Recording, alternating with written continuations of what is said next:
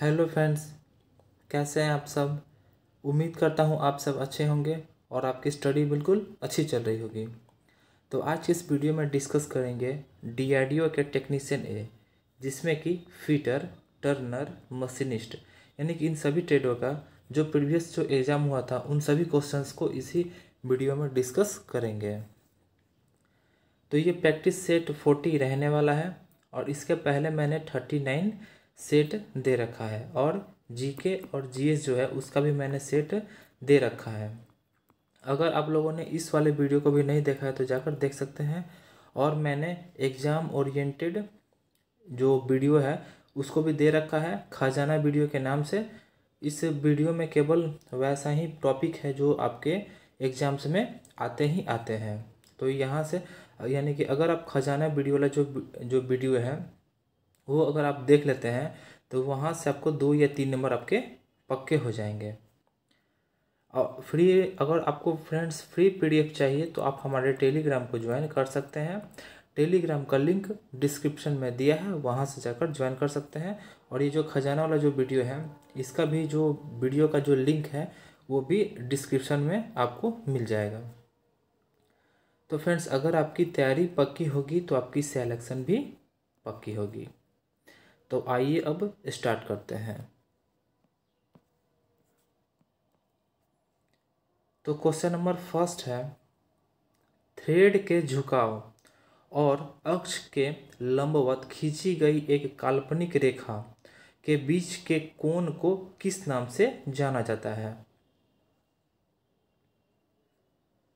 तो इसका right answer हो जाएगा ऑप्शन बी यानी कि हेलिक्स कोण के नाम से जाना जाता है। अब देख लेते हैं कि ये कौन से एग्ज़ाम में और कब पूछा गया हुआ प्रश्न है। तो ये U P R B U N L fitter 2021 में पूछा गया हुआ प्रश्न है। यानी कि पिछले वर्ष ये क्वेश्चन पूछा गया हुआ था। अब देख लेते हैं कि जो इम्पोर्टेंट जो पॉइंट है, इसी से रिलेटेड उन सभी को डिस्कस कर लेते हैं।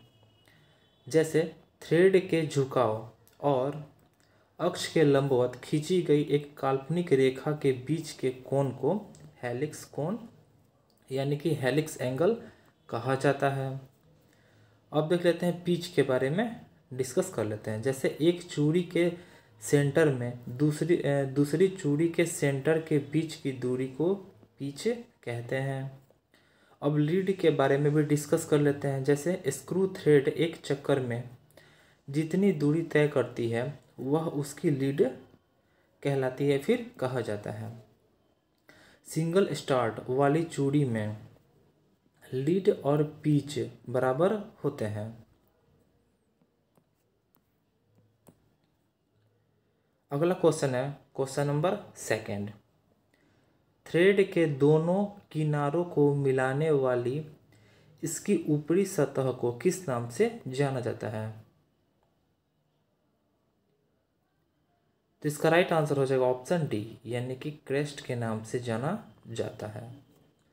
अब देख लेते हैं कि ये कौन से एग्ज़ाम में और कब पूछा गया वो प्रश्न है।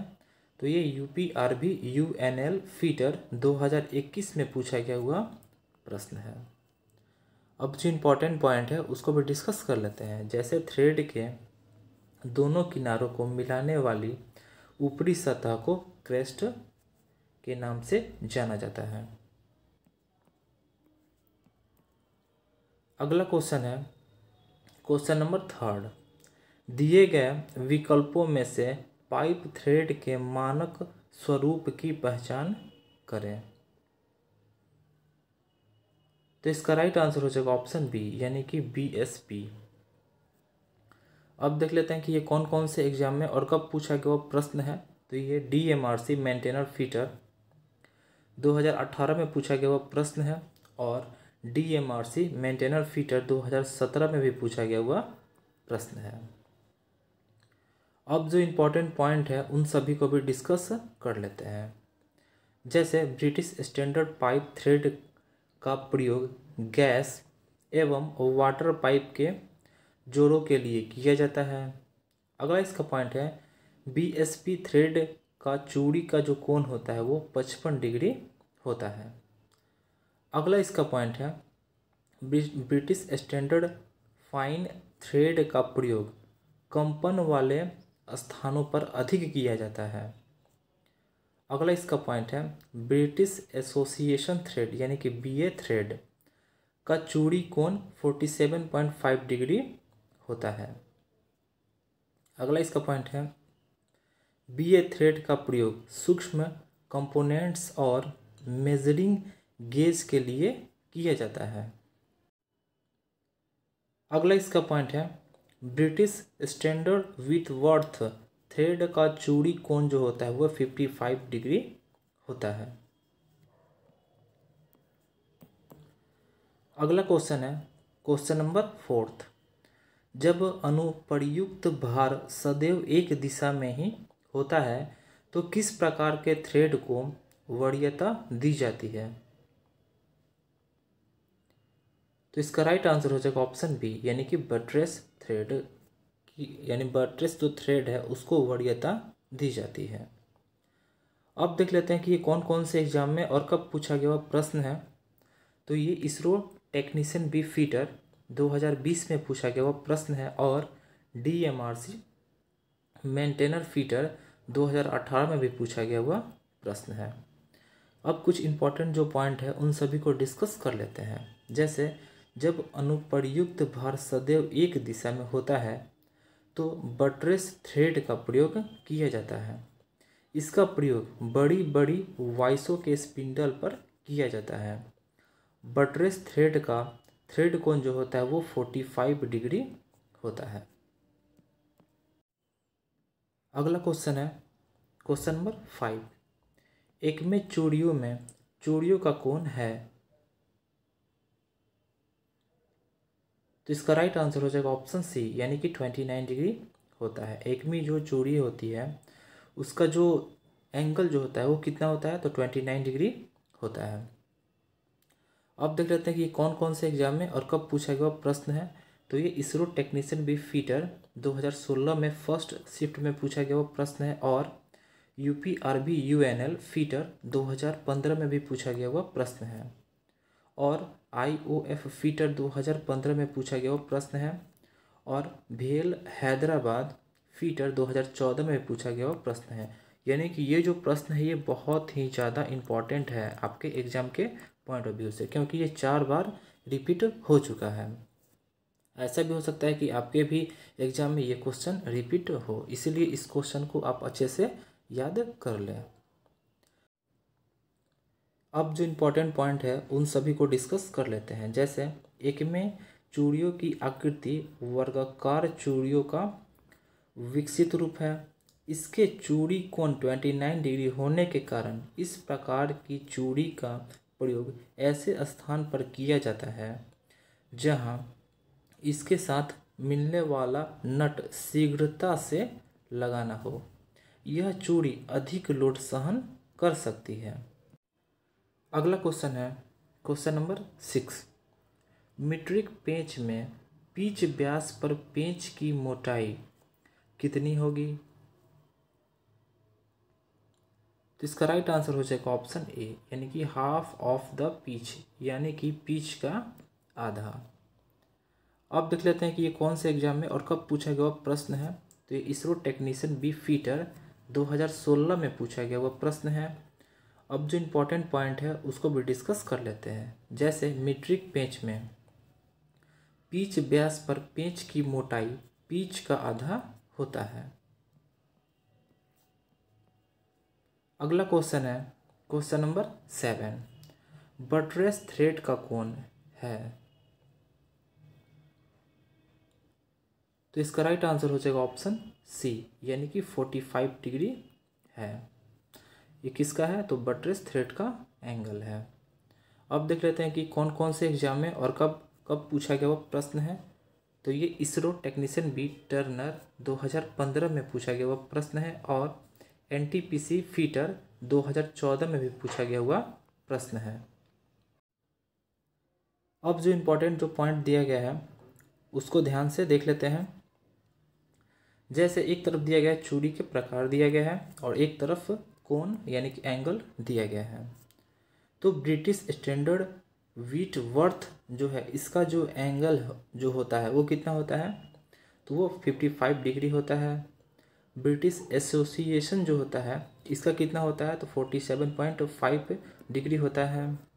बट्रेस थ्रेड जो होता है, इसका कितना होता है? तो फोर्टी फाइव डिग्री होता है। एक में जो थ्रेड है, इसका कितना होता है? तो ट्वेंटी नाइन डिग्री होता है। इसीलिए इस चारों को आप अच्छे से याद कर लें। अगला क्वेश्चन है, क्वेश्चन नंबर एट। किसी थ्रेड के प्रभावी व्यास को कौन से विधि द्वारा मापा जाता है? तो इसका राइट आंसर हो जाएगा ऑप्शन डी यानी कि उपयुक्त सभी। अब देख लेते हैं कौन कौन सा। तो स्क्रू थ्रेड माइक्रोमीटर से भी इसके भी द्वारा थ्री वायर मेथड के भी द्वारा टू वायर मेथड के भी द्वारा, इन, यानी कि इन तीनों मेथडों के द्वारा। अब देख लेते हैं कि ये कौन से एग्ज़ाम में और कब पूछा गया प्रश्न है। तो ये इसरो टेक्नीशियन बी टर्नर 2016 में पूछा गया हुआ प्रश्न है। अब जो इम्पोर्टेंट पॉइंट है, उसको भी डिस्कस कर लेते हैं। जैसे, बाहरी चूड़ी के प्रभावी व्यास या पीच व्यास को मापने के लिए निम्नलिखित में से कोई भी एक विधि अपनाई जा सकती है। कौन कौन सा? अभी हम लोगों ने अभी ऊपर ऑप्शंस में भी देखा कि थ्रेड माइक्रोमीटर मेथड के द्वारा टू वायर मेथड के द्वारा थ्री वायर मेथड के द्वारा, यानी कि तीन, इन तीनों में से किसी के द्वारा। अगला इसका पॉइंट है, दो तार विधि, यानी टू वायर मेथड से प्रभावी व्यास ज्ञात करने में व्यास मापी मशीन का प्रयोग किया जाता है। अगला क्वेश्चन है। Question number nine. Turn buckle में चूड़ी हेलिक्स है। तो इसका राइट आंसर हो जाएगा ऑप्शन डी यानी कि बोथ ए एंड बी यानी कि ए एंड बी दोनों। कौन कौन सा ये भी देख लेते हैं। तो लेफ़्ट हैंड राइट हैंड दोनों। अब देख लेते हैं कि ये कौन से एग्ज़ाम में और कब पूछा गया वो प्रश्न है। तो ये इसरो टेक्नीशियन बी टर्नर 2017 में पूछा गया वो प्रश्न है। ऐसा नहीं है कि ये जो इसरो के एग्ज़ाम में पूछ लिया गया है तो दूसरे एग्ज़ाम्स में नहीं पूछा जाएगा। ये भेल में भी पूछा जा सकता है ए में भी पूछा जा सकता है, यानी कि ये जो क्वेश्चंस जो दिए जाते हैं, ये सब क्वेश्चंस रिपीट होते रहते हैं। इसलिए आप ये ना सोचें कि ये इसरो का है तो डीआरडीओ में नहीं आएगा। ऐसा नहीं है। अब अब जो इम्पोर्टेंट जो पॉइंट है, उन सभी को डिस्कस कर लेते हैं, जैसे टर्न बकल में। चूड़ी हेलिक्स वामावर्ती तथा दक्षिणावर्ती दोनों होते हैं, यानी कि लेफ़्ट हैंड और राइट हैंड दोनों होते हैं।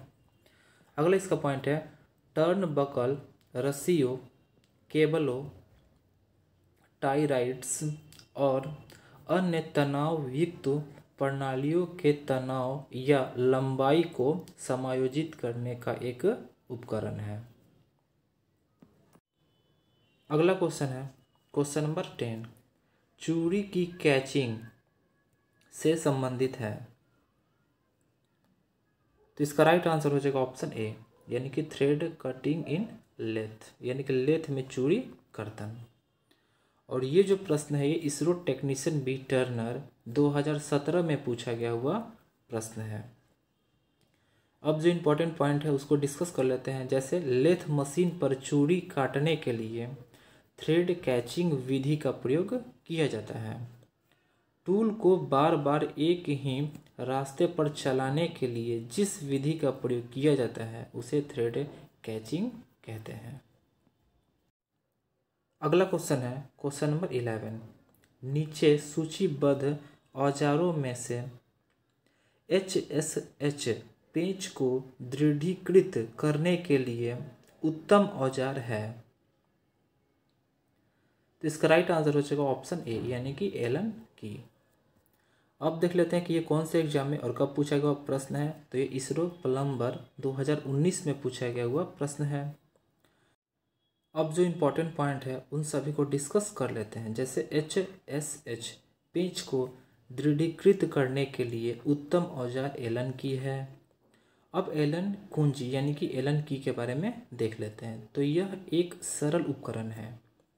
जिसका प्रयोग बोल्ट और सिकंजा को उसके सिर में हेक्सागोनल साकेट के साथ कसने के लिए प्रयोग किया जाता है। आमतौर पर यह हाई कार्बन स्टील के हेक्सागोनल रॉड के एक टुकड़े से बनाया जाता है, यानी कि बनता है, जो स्क्रू के साकेट में आसानी से फिट होने के लिए होता है। अगला क्वेश्चन है। Question number twelve. एक दुई प्रारंभन थ्रेड यानी कि डबल स्टार्ट थ्रेड के लिए होता है। तो इसका राइट आंसर हो जाएगा ऑप्शन ए यानी कि lead is twice the pitch यानी कि लीड पिच से दोगुना है। अब देख लेते हैं कि ये कौन से एग्ज़ाम में और कब पूछा गया प्रश्न है। तो ये इसरो पलम्बर 2019 में पूछा गया हुआ प्रश्न है। अब जो इम्पोर्टेंट पॉइंट है, उन सभी को डिस्कस कर लेते हैं। जैसे द्वि प्रारंभन थ्रेड के लिए लीड पिच से दो गुना होता है। जैसे कि एक फॉर्मूला है एल बराबर टू पी अगला क्वेश्चन है। Question number thirteen I S O metric thread में का कौन होता है? तो इसका राइट आंसर हो जाएगा ऑप्शन बी यानी कि सिक्सटी डिग्री होता है। अब देख लेते हैं कि कौन कौन से एग्ज़ाम में और कब कब पूछा गया प्रश्न है। तो इसरो पलम्बर 2019 में पूछा गया प्रश्न है और D M R C maintain feature 2017 में भी पूछा गया हुआ प्रश्न है। अब जो इम्पोर्टेंट पॉइंट है, उन सभी को डिस्कस कर लेते हैं। जैसे I S O metric thread में 60 डिग्री का कोण होता है। इस थ्रेड थ्रेड की जो गहराई होती है वो zero point six one four into pitch होती है। ये सिमेट्रिक भी शेप का थ्रेड है। अगला क्वेश्चन है क्वेश्चन नंबर फोर्टीन किसके द्वारा निर्मित जोड़ एक अस्थायी जोड़ है? तो इसका राइट आंसर हो जाएगा ऑप्शन बी यानी कि थ्रेडेड अब देख लेते हैं कि ये कौन से एग्ज़ाम है और कब पूछा गया प्रश्न है। तो ये R R B A L P fitter 2019 में थर्ड शिफ्ट में पूछा गया हुआ प्रश्न है। अब जो इम्पोर्टेंट पॉइंट है, उन सभी को डिस्कस कर लेते हैं। जैसे थ्रेडेड द्वारा निर्मित जोड़ी अस्थायी जोड़ होता है। इसमें किसी बेलनाकार या शंक्वाकार सतह पर जॉब को स्थिर गति से घुमाकर और औज़ार को जॉब के प्रति चक्कर। चूड़ी की पिच की दर पर आगे बढ़ाते हुए हेलिकल खांचा काटा जाता है। अगला क्वेश्चन है, क्वेश्चन नंबर फिफ्टीन। प्रति इंच थ्रेड की संख्या की जाँच किसके द्वारा की जा सकती है? तो इसका राइट आंसर हो जाएगा ऑप्शन ए यानी कि स्क्रू पिच गेज के द्वारा। अब देख लेते हैं, ये कौन से एग्ज़ाम में, और कब पूछा गया वो प्रश्न है। तो ये R B A L P fitter 2019 में थर्ड शिफ्ट में पूछा गया हुआ प्रश्न है। अब जो इम्पोर्टेंट जो पॉइंट है, उन सभी को डिस्कस कर लेते हैं। जैसे प्रति इंच थ्रेड की संख्या की जाँच स्क्रू पिच गेज द्वारा की जाती है। इसे थ्रेड गेज भी कहा जाता है या फिर कहते हैं। इसका प्रयोग स्क्रू चूड़ी की पिच अथवा लीड को मापने में होता है। यह पेंच पर या टैप किए गए छेद में थ्रेड की पिच का निर्धारण करता है। अगला क्वेश्चन है, क्वेश्चन नंबर सिक्सटीन। बाह्य थ्रेड काटने के लिए प्रयुक्त कर्तन उपकरण, यानी कि कटिंग टूल है। तो इसका राइट आंसर हो जाएगा ऑप्शन डी यानी कि डाई अब देख लेते हैं कि कौन से एग्ज़ाम में और कब पूछा गया वो प्रश्न है। तो ये R R B A L P mechanic diesel 2019 में फ़र्स्ट शिफ्ट में पूछा गया हुआ प्रश्न है।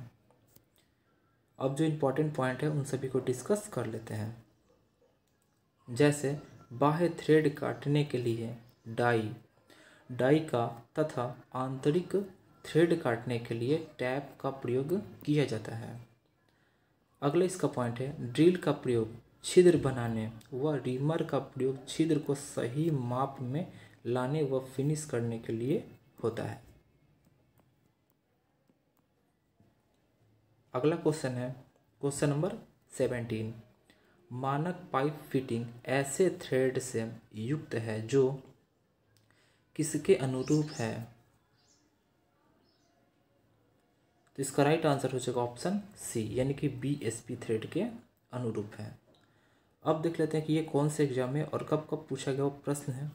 तो ये इसरो टेक्नीशियन बी फीटर 2019 में पूछा गया हुआ प्रश्न है और इसरो टेक्नीशियन बी फीटर 2015 में भी पूछा गया हुआ प्रश्न है। यानी कि दो एग्ज़ाम्स में पूछा गया हुआ प्रश्न है। अब देख लेते हैं कि जो इम्पोर्टेंट पॉइंट है, उन सभी को डिस्कस कर लेते हैं। जैसे मानक पाइप फिटिंग में बी एस पी थ्रेड प्रदान किया जाता है। बी एस पी थ्रेड का प्रयोग गैस एवं वाटर पाइप के जोड़ों के लिए किया जाता है, जिससे पानी या गैस लीक ना हो।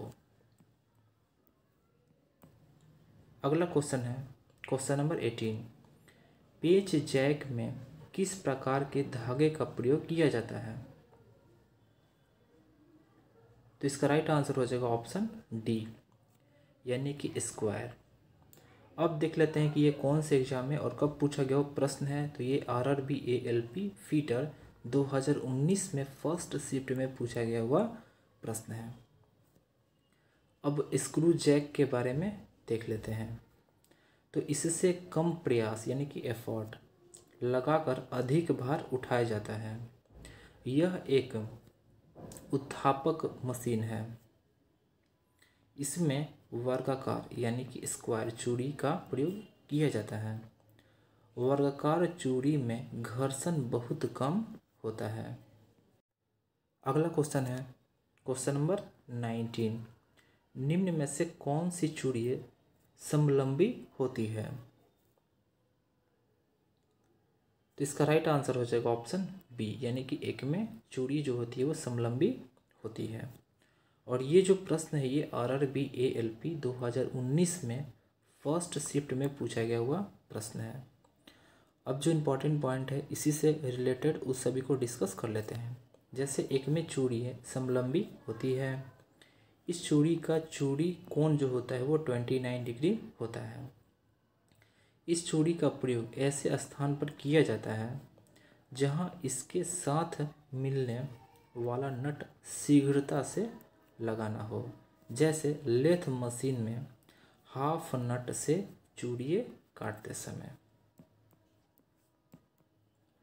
अगला क्वेश्चन है, क्वेश्चन नंबर ट्वेंटी यदि लीड का मान पिच के मान से दोगुना हो तो इस प्रकार के थ्रेड को कहा जाता है। तो इसका राइट आंसर हो जाएगा ऑप्शन ए यानी कि डबल स्टार्ट थ्रेड कहा जाता है। अब देख लेते हैं कि ये कौन से एग्ज़ाम में और कब पूछा गया प्रश्न है। तो ये R R B A L P fitter दो हज़ार उन्नीस में सेकेंड शिफ्ट में पूछा गया हुआ प्रश्न है। अब जो इम्पोर्टेंट पॉइंट है उन सभी को डिस्कस कर लेते हैं। जैसे यदि लीड का मान पिच के मान का दोगुना हो तो इस प्रकार के थ्रेड को डबल स्टार्ट थ्रेड कहा जाता है। इसका अगला पॉइंट है, किसी स्क्रू पर चलता हुआ नट एक चक्कर में जितनी दूरी चलता है, वह उसकी लीड कहलाती है। अगला पॉइंट है सिंगल स्टार्ट चूड़ी में लीड व पिच समान होती है। अगला इसका पॉइंट है मल्टी स्टार्ट चूड़ी में लीड पिच तथा नंबर ऑफ़ थ्रेड स्टार्ट के गुणनफल के बराबर होता है। जैसे कि लीड बराबर pitch into number of thread start तो फ्रेंड्स आज के लिए इतना ही। वीडियो कैसा लगा? अगर आपको वीडियो अच्छा लगा हो तो वीडियो को लाइक करें। चैनल को सब्सक्राइब करें। और बेल आइकन को दबाएँ ताकि नोटिफिकेशन आपको टाइम से मिल सके और आप अपडेट रह सकें। और फ्रेंड्स अगर आपको फ्री पीडीएफ चाहिए तो आप हमारे टेलीग्राम को ज्वाइन कर सकते हैं। टेलीग्राम का लिंक डिस्क्रिप्शन में दिया है, वहाँ से जाकर ज्वाइन कर सकते हैं। और अगर आपको जो एग्ज़ाम ओरिएंटेड जो वीडियोज़ है, अगर उसको देखना है तो खजाना वीडियो के नाम से है। वो भी आपको डिस्क्रिप्शन में उसका, उस वीडियो का भी लिंक मिल जाएगा। वहाँ से जाकर आप चेकआउट कर सकते हैं। Thanks for watching.